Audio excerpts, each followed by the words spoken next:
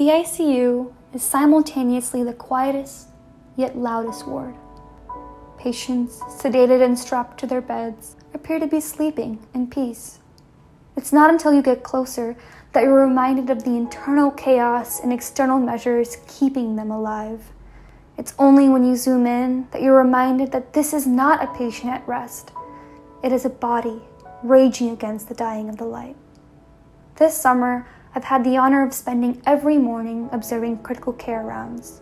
As a medical student, it took some time to adjust to the ICU environment, where I've seen patients deteriorate in a matter of a few hours, a patient's wife sob in her husband's room, and heard piercing moans echo in the hallways.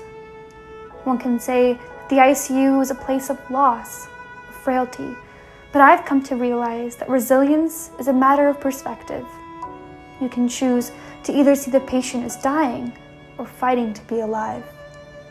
As physicians, we have the privilege of beholding the most heroic forms of resilience withdrawing care for a loved one, recovering from a transplant surgery, enduring chemo, but also its simplest manifestations.